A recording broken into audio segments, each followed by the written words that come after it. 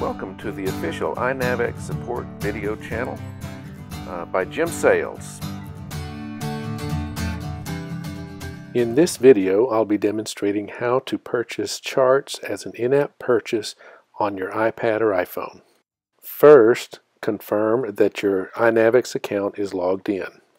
Tap the More item in the toolbar at the bottom of the page, then tap the Account item. Log in with your iNavX account. Return to the Charts screen and tap the Charts item in the upper left-hand corner of the screen. Tap the Store tab in the upper middle of the screen. Scroll down to find the chart you wish to purchase and tap it. Read the chart description to ensure that this chart will meet your needs.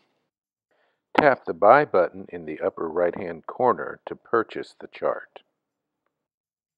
Complete your purchase using the authentication method presented on the screen. When the purchase is complete, drag your finger down the My Charts page to make your chart appear on that page.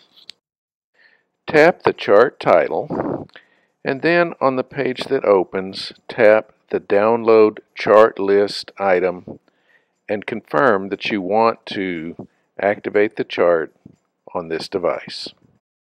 Tap any chart in the list to download that chart. Hey, if you found this helpful, why don't you click on the thumbs up to give me a like?